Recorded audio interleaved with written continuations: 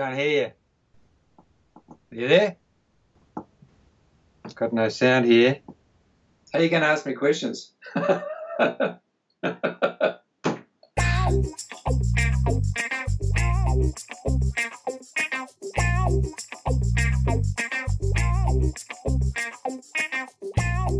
Well, that would have to be the best start of an interview ever that you've uh, you've, you've ever done.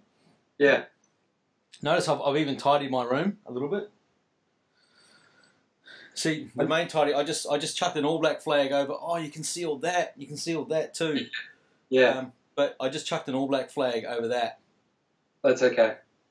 um, so you can see all these all these things. Sorry, I just talking about business. Shut up. Well, if there's if there's anybody left watching after that, Shush. Tell Spielberg I'm busy. Yeah. Okay, just tell him I'm busy. exactly. I'll get back to it. I, just yeah, put him on hold. Sorry, I'm talking to Stephen. You know Stephen. Sorry, Stephen on the other line. Sorry, Stephen. Had fine. Plus, I had to make myself coffee. Um, so everybody, welcome to this. Is oh, there's my camera there. See, there's my camera. Hey, Uh, nice. Um, this is an interview series like no other, literally. It's called Actors Talk About Themselves, and because I'm an actor, Jed's an actor. And special guest Jed Brophy Yes, from The hello. Hobbit as my very first guest. Indeed. As you see, we've had a few teething problems, but that's all right. It's all very raw. It's all very real. Um, I was uh, ready. I love I your was- hat. Yeah, no, good. Just, I've just been out uh, rounding up some some some. I don't have many fans. I've been rounding them up. I go out on my horse and I round them up, and they're here. Shut up. You, you know you love me. Get photos later. Sorry about that. I'm warm. Oh, this is my bought my bought my first flannel, my best, my proper flanny. Ah, it's not the right colour. It should be red. I know. I, I'm going to get a red one, but this is my first one. Um, I just love the blue. It sort of it makes my eyes pop. See. Actually, it does. Yeah, it um, red red suits Dino, but it doesn't really suit other people. It Doesn't suit me. I just look Yeah, a lot of things suit, suit Dean O'Gorman that don't suit a lot of other people. yeah, So true. you know, like children's clothing. Oh, Yeah. sorry, did I say that? So, so Dino, get back to him. He's on line three. He's on line three. My secretary. She's not very good. no, but just to, but, to, but, but you know, to, to be fair and seriously though, he is quite small. I love Dean. But we love, but we Uh, love him dearly. I love Dean. Um, yeah. Anyway, this, this is my office. You see, Oh, yeah. got a, I don't know if you can see over there, but I've got a whole lot of hats Oh, you do. on the door. There you go. See, see these hats, Yeah, Brilliant. and that's I just have one. and that's the backyard. And if you go sort of that way, there's goldfish. There's a whole lot of goldfish. Oh no, you're frozen. Technology is, is the technology is letting us down already.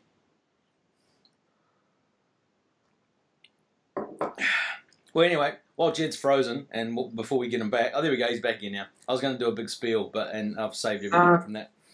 Um, yeah, so like, what I want to do with these, because initially it was, Yeah.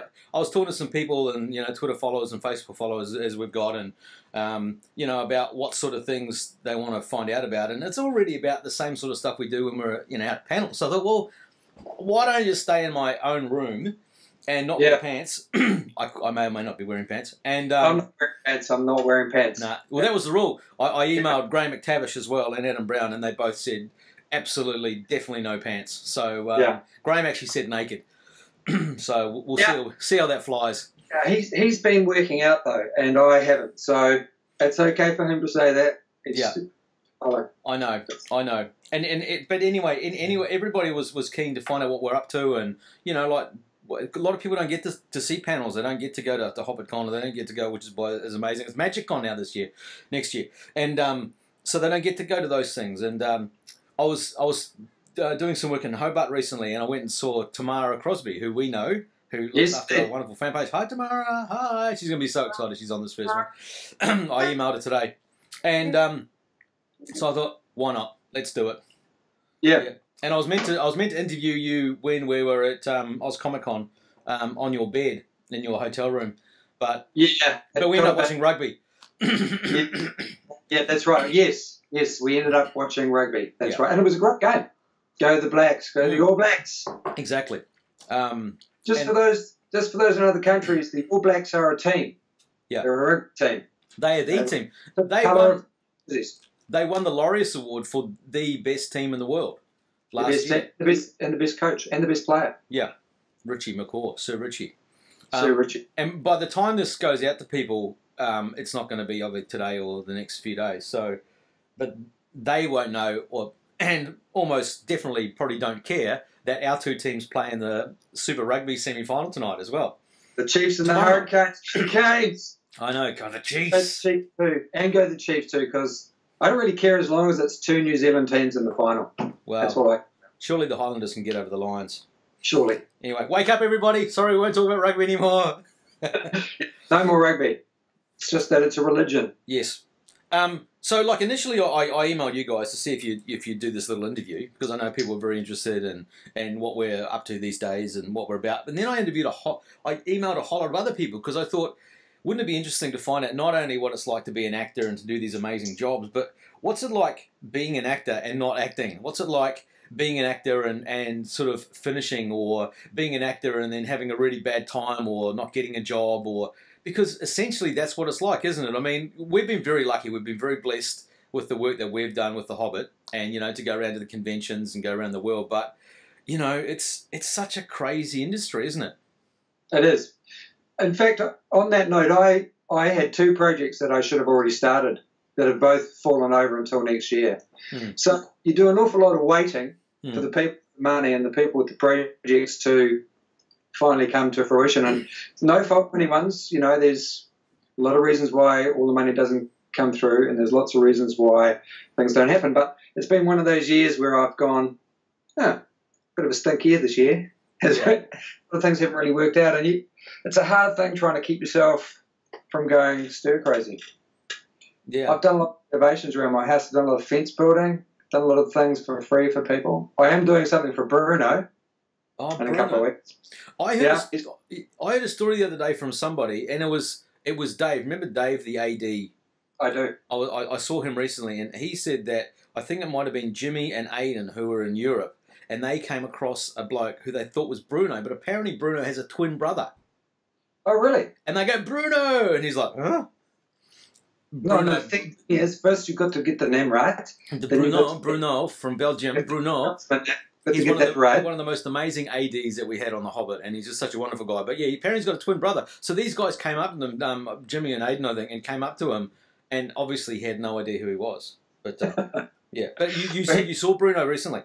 Yeah, he's doing a short film called Zealandia, and I'm helping to get a group of people together to be cyborgs. Although I shouldn't give too much away because no one's seen it yet. But Hmm. yeah, he's making his his short film, and he's got together a really good crew of people, and um, getting some help from the wonderful people at Weta Digital and Weta. And so, sort of around the 13th to the 15th, we're going to be kicking off on that. But it'll only be like a week's worth of shooting. Yeah, right.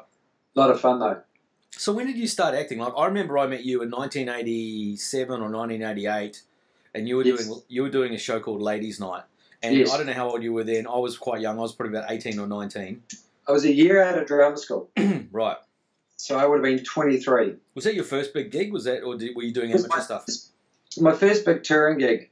Um, yeah, it was my first big gig. I'd done a sh- I'd done the show. Michael Hurst directed it at Centrepoint, and then the tour sort of came out of people seeing that production really. Hmm. And we toured for seven and a half months. And yes, I do remember coming to Hamilton. I remember, I remember meeting you, and we went and we went to some jazz club. Oh, very possibly. I think we had a jam in the creative room That's right, we had the jam. radio station. There's a set of drums there, and a few people got on the guitars. It was pretty horrible. I had a bass guitar, and I, Yeah. I, had, I had a horrible old vocal amp that you'd have like Yeah. at an indoor event of some sort. It was just terrible. Plus, my bass playing was pretty average, I imagine. Um, so much was too. It was just basically white noise, but we had a good time. we did have a good time because I did radio for many many years, and um, um, yeah, and you know, I always remember that. And then when the Hobbit jobs came out, I go, I remember, I remember Jed. I remember Yeah. Jed. I met him when I worked for Kiwi FM in Hamilton. You know, the terrible thing is somewhere there is out there. There's a there's a there's a copy of a video of me stripping for telethon, and they actually you see everything because they didn't put the lights down. I used to do this thing where I put the cricket cap on and then like that, and then I'd throw the cricket cap up as the lights came down, but didn't put the If you'd like a link of that video, you could uh, email me at info um, info at stephen-hunter.com. Um, you have the. I've been trying to get. it. story. I was online somewhere. I remember showing it to somebody, lots of people. Um, and you, you know, the there must have been times when, I mean, even after the Hobbit, where there's just nothing happening, or you do something and it doesn't go as well as you hoped it was going to go, or you have doubt. I mean, self doubt is like a massive thing in this in this industry, isn't it? I mean, I have it all the time. Yeah. Look, I did this great little short film, this great little film called The Dead Room, and you know, it's a very low budget film. The problem with having a low budget film is you don't have any budget to sell it. Mm. And that is the thing, you know, I want to do films here in New Zealand. That's always been my passion. I think Mm. Anyone who's born in a country wants to do films in the country that they're born in or in the country that they're living in. And Mm. people have said to me, why are you going to LA? Why aren't you going to Hollywood? Well, I don't like the place that much. I like the people there and I like the industry there, but I like it as a place to live. So for me, it's tricky because it's always going to be a step down from big films like The Hobbit working here. We just don't have the budgets to do those kind of films. Having said that, I have been incredibly fortunate to have a career and be able to feed my family and house them. So it's all I imagined doing. I grew up on a farm. You know, I, I didn't imagine that this would be a career that went beyond ladies' night, really. So, but yeah, this year's been one of those weird years where there's been a lot of promise Hmm. We're sort of waiting for the, to see when the second season of Shannara is going to shoot. It's Mm. definitely going ahead, but what my involvement will be in that, I really don't know. So um, it's a bit of a waiting game, really. Mm. That's been very popular, isn't it? Amazing show. Yeah, I haven't seen it, but I, ma- I imagine it's amazing. I'm amazing too. No, um, again, it was a five-hour makeup, and I did. I was a bit reticent to doing it, having just done that on the Hobbit for so many years. But um, Mm. if the only jobs I can get is by covering my face, I'll take them. Yeah. That tended to be the way I thought I was going to go.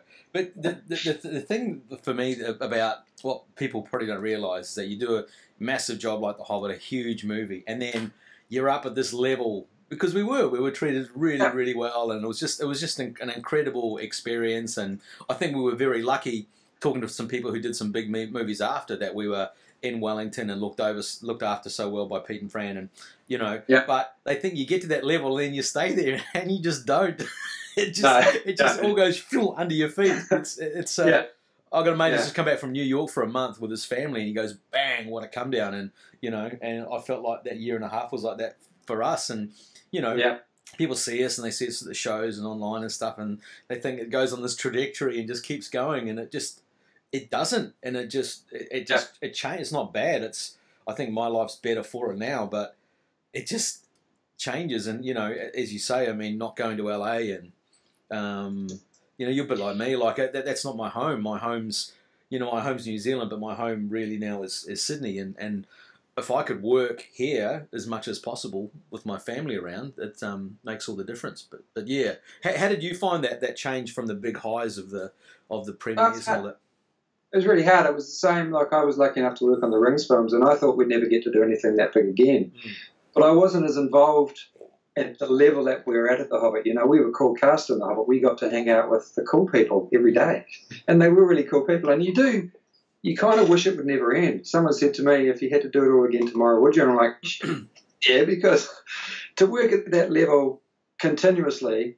Not just with the actors, but Peter is such a genius filmmaker and he's surrounded by other geniuses. Mm. When you're working with people at that level, it is easy to believe that that will be the rest of your life. It's all going to be like that. But it's not like that for anyone.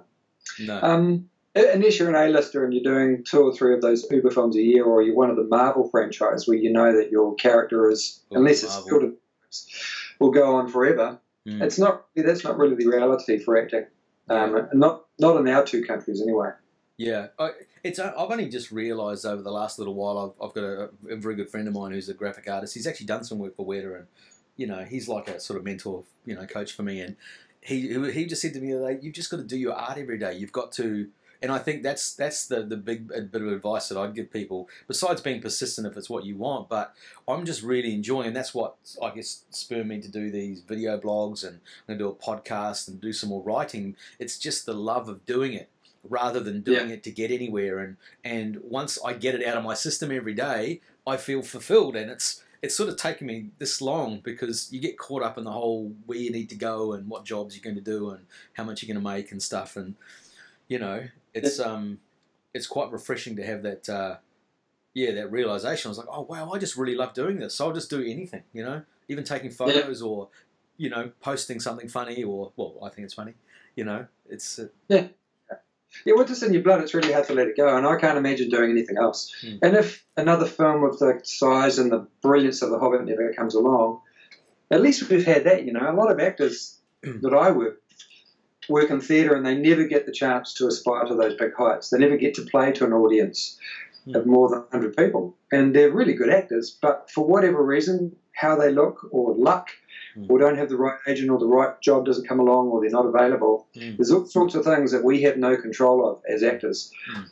Uh, um, I was overseas at one point when there's some really good auditions for a thing happening here, and I'm like, well, I can't get back there in time. I don't have time to put it down on tape. You just go, oh well, yeah, that's it's an opportunity lost. But you can't live, as you say, every day going, damn if only. I wouldn't get out of bed if it was like that. yeah. I, I remember having a um, a particularly bad recall for a job a couple of years ago, and you know, without going into too much, it, was around the time when my dad was quite ill, and and I think I was just worked up more than I thought I was, and it really caught me.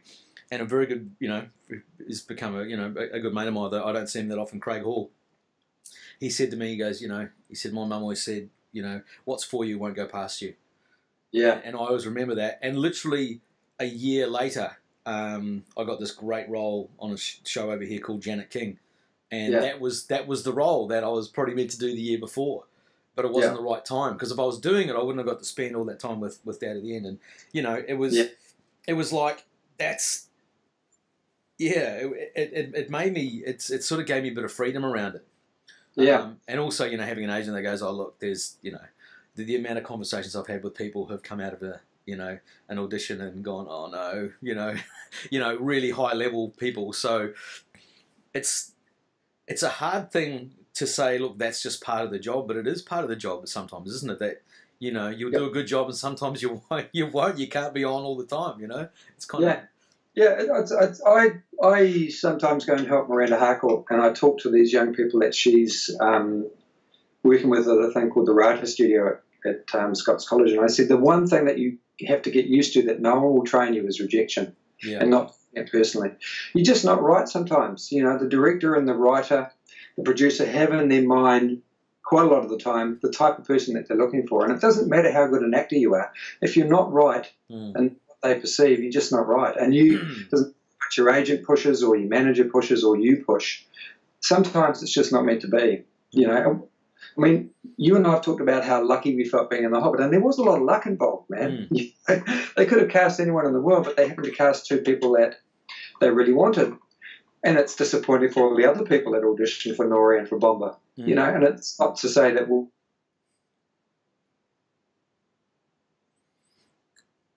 Jed's just having a momentary lapse of um, of movement.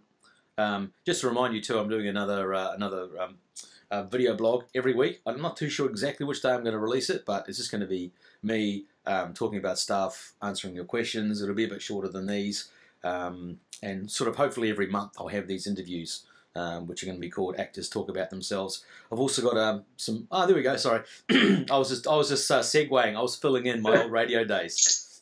yeah, you were very good. Yeah, Thanks.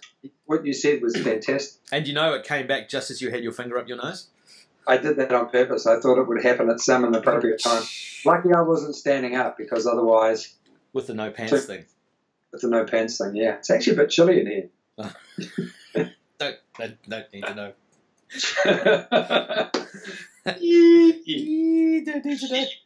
So what were we talking about? We're talking about like, oh, you were talking to the, the kids. Luck. Mm. And yeah, I mean, if nothing else happens this year, at least I've got to spend a bit more time with my horse. Mm. I've been, been training him to ride without a bit in his mouth, so riding him in a, in a what they call a hackamore, which is a puts pressure on the nose but no bit in the mouth. And, Oh wow, okay. yeah, and also spend more time with my two boys. You know, it's like you never stop being a dad. Yeah. And my boys, although they're yeah, fairly well actualised in terms of what they want to do, there's still a lot of disappointment for young people. And actually, it's been great for me as a dad to be around all of this year. And also, my good wife puts up with me being away a lot. And Mm. one of the things about being here is we've had an entire year where I've pretty much been in the country, apart from the occasional convention. Yeah. So that's been that point of view. Yeah, because it's, it's like anything. Like if you get good rewards, or you know, like I had arguments a long time ago when I was a copywriter, and people were moaning about the managers getting paid X amount. I'm like, have you ever been a manager? Have you ever been in that position? Because I have. And they go, oh no. I said, well, if you get the reward, there's a cost to it. And the Yeah. cost, the cost when you're in high management is the stress and the hours. And as an actor, you know, there's good rewards, but the cost is that you're away a lot. And you know, I mean, we know some people who are away from their families for for an, an awful long time, and it's, you know, I, I go away for two weeks, and you know, and then it takes a while for my daughter to almost forgive me for being away, and you know, it's it's uh, you do you, you miss out on those things, and we Yeah, make it work because because it's what I love to do, and it's what as a family we've decided that's what I'm going to be doing. Um, Yeah. You know, and, and you do make it work, and if you're committed to doing it, then it's going to be fine. Um, Yeah. But yeah, there is a there is a cost to it sometimes. There is a cost. You know, one of the great things, one of the greatest things about doing this job is the friendships that we forged. Hmm. It's a, it's a core bunch of people that doesn't matter where in the world and how long it was in between. If we see each other again, we have that kind of shared memory of what, what, what it was we went through. It was a bit like going to war. You know, I talked to, um, Except the catering was better, except the catering was much better. and No one was and no one got killed. no one got killed. Well, It was nothing like war at all, folks. It was really, it was really very nice. But in terms of the camaraderie, Yes, in terms of camaraderie, um, Yeah. that, that's the single most positive thing I can take away from the experience, apart from all the junkets and getting all the air miles, which was amazing. Don't Yeah. get me I'm still living off my Qantas uh, gold membership, so uh, and my Air New Zealand was gold for a long time. So yes, Yeah. thanks guys. point of view, it's great, yeah. And and just kind of being able to do something amazing for this country as well. In terms of what the Hobbit's done for tourism, it's been incredible. And it's always nice to feel like you've done more than just make a film. It's actually something that lends itself to something else. Not just the amazing fan base that we have, but also just what it's done for the fabric of this country, which is so much about primary industry. Mm. The film industry is now the third biggest kind of earner in this country, which is an amazing thing. And not all of it's just pure entertainment. There's amazing films have come out, you know, around about the same time as The Hobbit. And we've seen a lot of our contemporaries kind of go like that as well. Mm. Great this country is this country will make you keep your feet on the ground. Because people will say, hey, Mm. yeah, you did that thing one time, buddy, but you're still just a Kiwi. Speaking of which, we, I, I can't leave this subject without mentioning um, Taika's new movie, Hunt for the Wilder Oh, yeah. How good was that? It's, it's one of the few movies I would see three or four times on end. Well, I, I I went with a few Kiwis because it was a mate of mine. He's, he's he, a Kiwi who just lives up the road, and his wife went to see it with their daughter, and obviously they're Yeah. both Kiwis. And then I said, "Oh, do you want to go along? I'm going to take my brother-in-law, who wasn't a Kiwi." So he came along, and he was the only non-Kiwi in the whole group. And and then my other friend's wife, she came along to see it again. And like as someone who doesn't know New Zealand culture, it's still an amazing mo- movie. But there's so many little in jokes. There's so there's there's so much funny stuff, like all the you know all the Toyota references and you know all that sort of stuff were, were were just incredible. And it was such a funny movie. And and to be honest, I think I don't know whether it was done on purpose, but I think the director himself might have stolen the stolen the movie once. So um, you know, Yeah. it was just hilarious. It was such a such a Yeah. a, really um, interesting, and it was quite funny because all the scenery um, and a lot of the locations where they shot, it almost reminded me a little bit. Obviously, it was a totally different style, a little bit of um, of Sleeping Dogs, you know, like Yeah. of, of where they were where they were shooting. So that must have been a bit of a throwback for Sam Neill. Yeah, and, and you know, it's I without without taking away from anything else Sam's done, I think it's one of his best ever performances. I was just blown away by him. Yeah, Having grown up in the country with with a bunch of crotchety old people, he was really was really amazing. I mean, he was just like people who lived in, in Mataroa and Taihape and up in the bush. He was he was like everything that Barry Crump ever wrote about. It was kind of perfect casting. And that young boy, Julian Dennison, wow, what an amazing young man he is, and, Yeah. and so grounded as well. And in terms of always thanking the other people, it's never about him, yeah, you know. And and seeing Cohen Holloway there, and and seeing um, and Mike there, and all and Rhys Darby, fantastic actors, Rhys really. Rhys just. I, I did a commercial with Rhys like years and years ago. Where I think even before his stand up got you know really uh, really well known. He's he's a he's a really lovely guy, but he's he's he's mad as a mad as a snake. absolutely mad as a snake. Yeah. Um, and it- it made me smile because I've seen lots of posts and lots of social media stuff with Julian, and I, I've never met Julian. I, I don't know him, but I'm just I, it makes me smile to think of that after what we did, just that, that journey that he's on, that the, the, the excitement of going to those premieres and going around the world and being, you know, it is an exciting time, and and I and I hope and I trust and I'm sure that it will happen that he'll he'll have people around him who'll be able to, you know, just keep him keep him going to for the next thing, and he, he's such a talent. Yeah, he is, but he's also he's also one of those lovely young people that doesn't rate himself overly. He he knows it's a great film, but it's all about the film. You know, he's always promoting the film rather than promoting Yeah. himself. It's such a Kiwi thing, though, isn't it? It is, yeah. Yeah, oh no, don't talk about me, talk about the work. I mean- because I know living in Sydney and people say, "Oh, the tall poppy syndrome in Australia." You know, it's. I said, "Well, you haven't lived in New Zealand." I remember my my dear old dad, and I I loved him so much, but I remember he had this thing about John Walker, and he thought he was a bit of a show off, and I'm like, "Dad, he's he's the Olympic medalist, he's the world record holder, he is the best in the world," but he thought he was a bit of a smartass because he he rated himself, and that was that was just that was just the the the the, the opinion of the time, you know. And Yeah. um, it always made me smile thinking about that when he used to, you know. And I remember he did a Fresh Up commercial. Remember he did Yeah. some Fresh Up commercials back in the day. And I remember, I've only just remembered this now. And I remember going to Porritt Stadium. They used to have those international track series.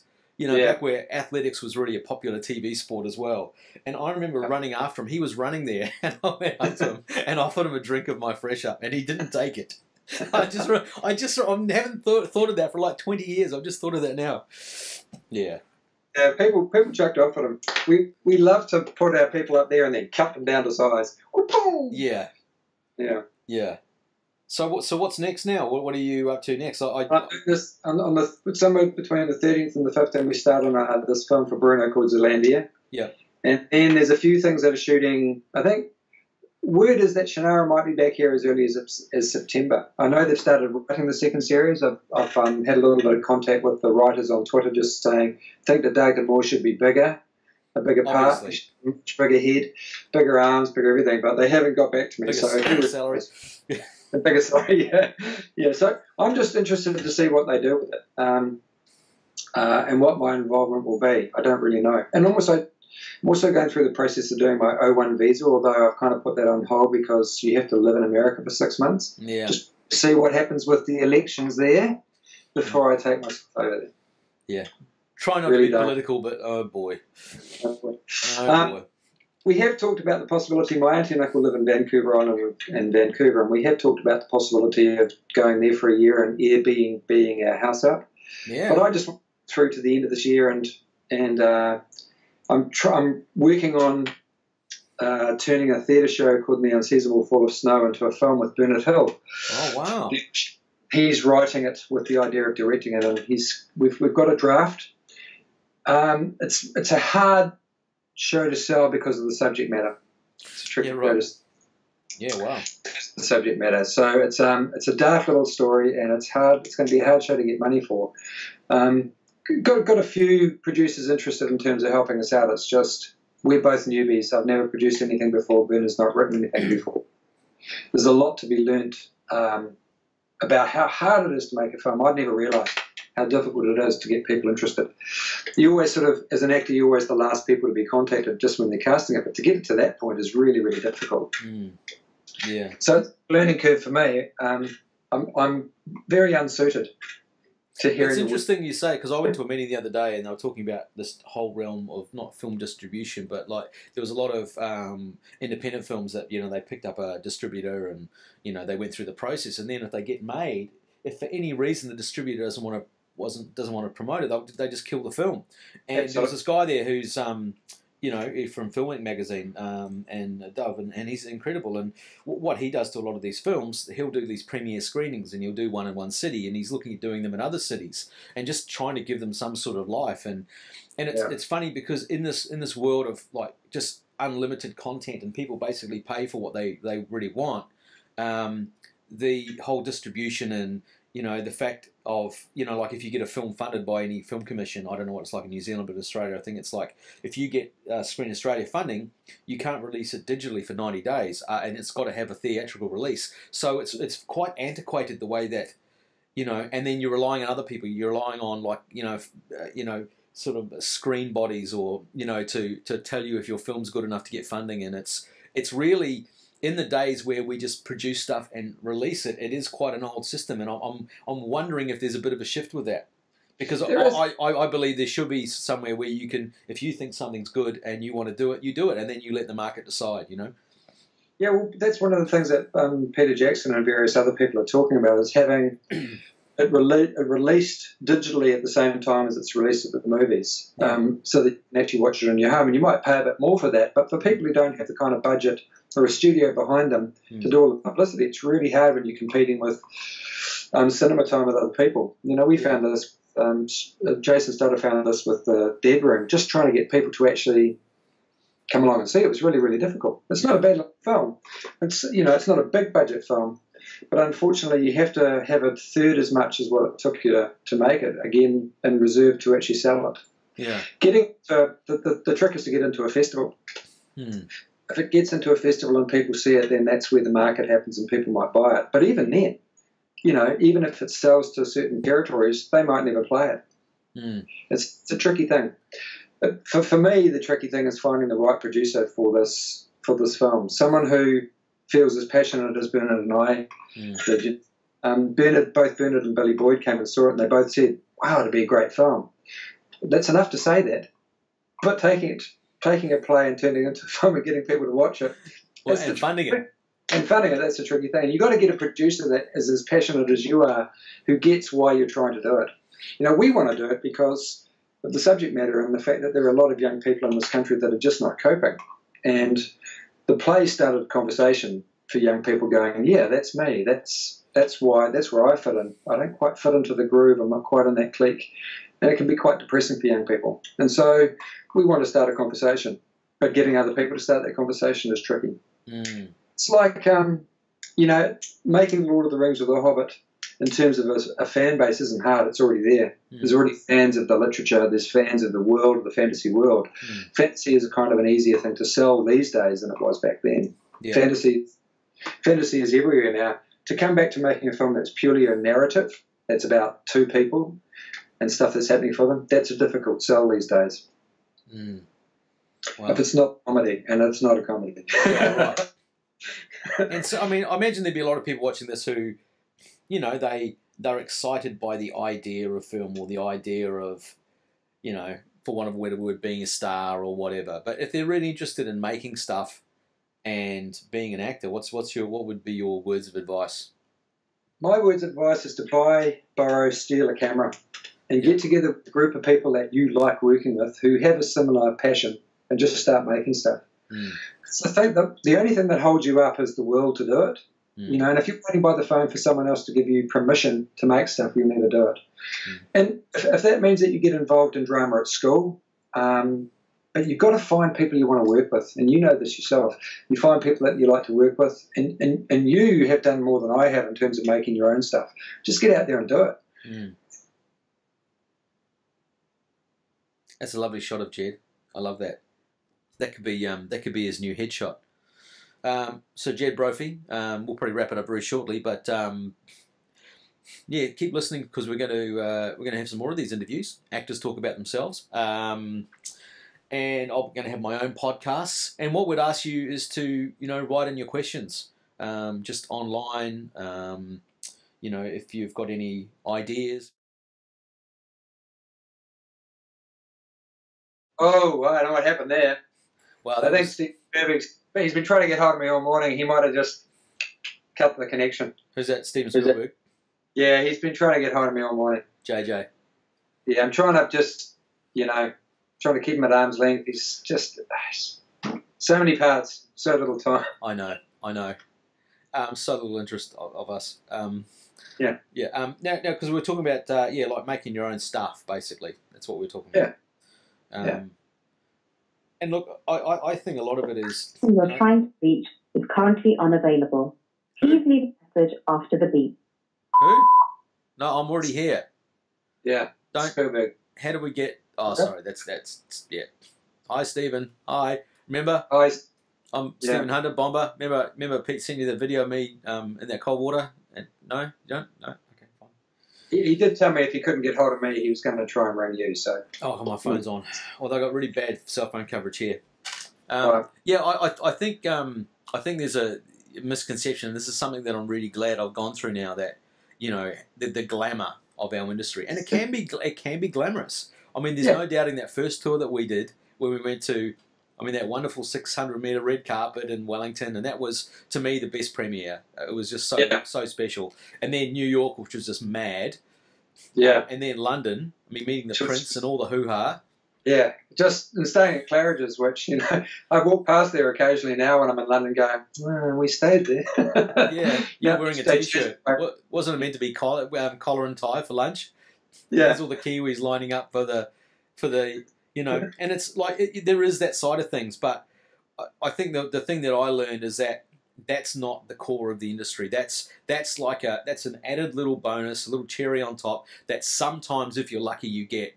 And but Yeah. the core of it is is creating and is is like expressing yourself. And a very good friend of mine, a guy called Jeff Bollow, he's got this amazing screenwriting um, program called Fast Screenplay, and yeah, and um, he did a TED talk, and he said, "Look, when it comes to creativity, because I was thought, oh, my idea's been done." He said, "Look, you are original. Nobody has experienced what you've experienced the way you've experienced. Your ideas are purely original because it's it's your experiences." And that just that just really gave me something, you know, and just being able to create stuff, and if you really enjoy doing it, then you may get some of those rewards. But if you do it purely for the fame or the fortune, you're going to be sorely, you know, like you might get some, but then you've got to go back and graft. I mean, I've had to come back to Australia, and you know, um, my um, wonderful agent David has said many times. He said, "Well, you know, The Hobbit was really great for you, but you know, also." I was in prosthetics. No one could really see my face. I didn't really say anything. So, you know, that was never going to, I was never going to get cast directly off that. But what it has done, it's opened a lot of doors. But I've had to work harder, if anything, because now I'm getting, I'm being put up for bigger roles than I was before I did The Hobbit. But I still have to work as hard. And it's like I went from there to there, and now I have to sort of fill in here, you know? And that's what's Yeah. happening. And it takes Yeah, a lot no- of work, and it's a lot of, you know, it's you just have Yeah. to, you have to really, really love it. that's the one thing that no one teaches you in this industry is what to do in the meantime, how to keep yourself from going crazy, and how to not overthink it. Yeah. Because there is that thing, you know, you and I have talked about this as going, okay, we've done the Hobbit. What's the next big thing? Yeah. That's how you're thinking. The next red carpet. Yeah. it's, it's not going to happen Yeah. because you carry that with you. You have to be, you have to be aware of the fact that the industry is not kind. Yeah. The industry is a business, and it's a business of making money. We're a And- commodity, basically. We're a commodity, yeah. And at, but at the same time, I've also learned to use the business as well. You know, now with social media and you know fan base and all sorts of things, it's it's it's really about. And again, that's why this this came up. It's like, what do the there's all these people following me, and they they actually want they want to be fed. They they want information. They want content. And so, what is it that I can do to try and you know try and satisfy their need for content? And if they don't get it from me, they'll get it from somebody else. You know, so Yeah. you know, it's It all. No one else is going to do interviews with people without their pants. It's just not going to happen. I know exactly, and like you know, the all the technical. I mean, that was all planned. All the technical Yeah, things. absolutely. At one stage, I was going to go make some toast, but I didn't. I sort of didn't get around to that. Um, and you know, who knows? One time I'll do an interview and I'll actually tidy my office. Um, you know, it might it might sort of take might sort of take the gloss of it. And um, what's when are you? You got any plans to see any of the other lads? Um, I'm I'm going to go to um, the UK in November. Yeah. Um, so and, and possibly Paris. So if I'm there and, and Adam Brown's around, I'll definitely go and see him. Oh, Adam. It'd be great to see him. You going to Um, see Dan, our friend Dan Freeman? Yeah, I'll go and see Dan Freeman. Yeah. Yeah. See, they're, they're up to they're up to episode seven. Yeah. Which episode did you do? Five. Right. Yeah. Yeah. So they're going gangbusters, and you know he's got every he's got every um, will in the world to make uh, the Minister of Chance into a movie, but he's finding that really difficult too. Just because he had people in it, it was a good podcast, doesn't necessarily mean that he's going to get the money to make it into a movie. Money, money to Money, make. man, it's about the money. I mean, it'll be interesting to see what the UK is like now after Brexit. Yeah. Had a few friends um, come home. Had a few friends come home from Paris um, recently as well, and you know Europe is definitely a changing place, and, and Britain is changing too. So Yeah. be interested. I meant to do a TV show there next year um, called Robin Hood, with a Kiwi actress playing Robin, Oh. and I'm sure I'm not sure how the whole Brexit thing will will um, Off of visas, you mean? yeah yeah, it'll be really interesting. I mean, I, I get patriality, so my. But it's going to take a couple of years to for is it to all to be finalised, and but absolutely. But uh, Yeah. but like and also like the, all the, the the main people that have were behind it all have all gone. So they've like they've, they've made this decision and then they've all buggered off and left it to everyone else to clean up. Yeah, So it might not even get passed because it's got to get approved by someone. yeah. I, I just think I think it'll be interesting to see how it affects the British film industry, and because you know they've always had, it's been really it's been easier with the European Union there in terms of getting a market. Mm. I that doesn't make any difference. It might make a difference in terms of doing co-productions, but we don't know. Yeah. I mean, I don't know. I'm hoping that that series happens because it's a good part. I get to play the evil King John, which would be fabulous. Nice. You know, if I had a dollar for every part I've been promised, I'd be a very wealthy man. Yes. You well, just I remember Oh, the, be- the, be- the best advice I had from was from remember uh, Billy Connolly, um, lovely man who we did get to spend a bit of time with, and you know Yeah. he said I think you know when he moved to Hollywood he said he said it's mostly bullshit, but if you know then it's you know people are going to say things to you, and because that's that's the core of, of the industry over there, and you know you just don't believe it all you say, just just take it as with a grain of salt, and um, and he loved it because he knew that unless it's contract signed, then it's done. Once they're ro- once they're rolling on you, Hmm. once you're on set, they're rolling on you, you've got the part. Yeah. Then it might not even end up in the film. So once you're at the premiere and you see yourself up on screen, you've got the part. Exactly. Well, I remember. I remember the very first day on set. We were there, all of us in Bag End. Remember that? Yeah. And um, in walks Ian McKellen, and uh, and I turned to Adam, and me and Adam were both the same, going, "Oh my god." we, Yeah. we, we're just waiting for them to tap us on the shoulder and say they've made a mistake. It's actually the other Adam Brown and Stephen Hunter. Because there's about like 20 Stephen Hunters and about 30 Adam Browns. So we, we thought maybe they made a some sort of mistake. Um, but, uh, but, but no. And uh, it's just to finish off, because I know that you were, uh, you were mentioning about hanging out with all the cool people. You know, we got to hang out with the cool people. But in my mind, I mean, you know, sure, I was it was lovely hanging out with Ian McKellen and Martin Freeman and, and all these guys. You know, Luke Evans, who you know, it's just a great bunch of guys. But you know, we, we got to spend the most of the time we've spent together on that show was was all the dwarves. You know, like all, all the Kiwi guys. You know, guys like Jimmy and Graham as well. And you know, there was it was it was it's those guys I, I keep in contact with more. You know, and Yeah. We were the Yeah. cool guys, man. We were the cool guys. We were, we were, we were the hard workers. It was, I mean, it was a joy for me coming to work every day. Hmm. Yeah, it's not often that you you work on something that has so much heart and goodwill. Yeah. You know, I take that away from it. Yeah, there were hard days, but we got each other through. Yeah. You know, days where we were going, you'll be okay, mate. You just come on, one more take, one more take, and that that's the kind of thing that makes makes a project great. Yeah. Not not the end result, not the red carpet, not that stuff. It's actually turning up every day and going, Yeah shit, this is good fun, isn't it? Yeah, it was. And, and the catering, because that was pretty amazing.